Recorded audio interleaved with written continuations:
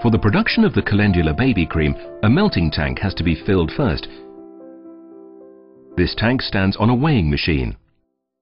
What we see here is how beeswax, lecithin, warm wool wax and peanut oil are being filled into the tank.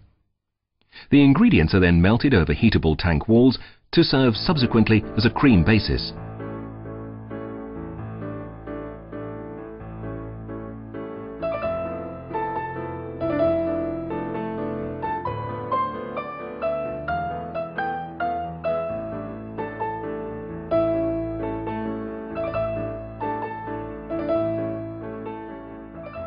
Each cream is composed of fatty and watery ingredients. These substances resist being combined, a fact each of us can experience when we try to mix vinegar with oil.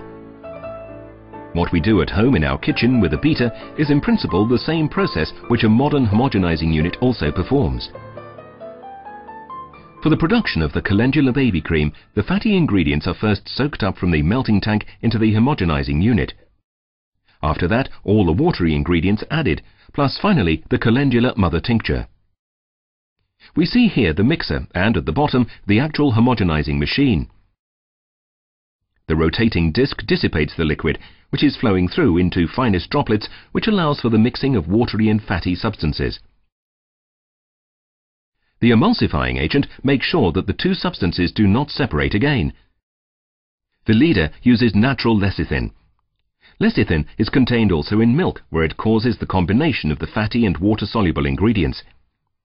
The steady stirring and circulating movements combined with the cooling down process result in the transformation of the liquid into a soft cream. The pleasant discreet scent of the cream is exclusively due to the pure essential oils. The fresh cream is then filled into tubes, followed by the packaging process.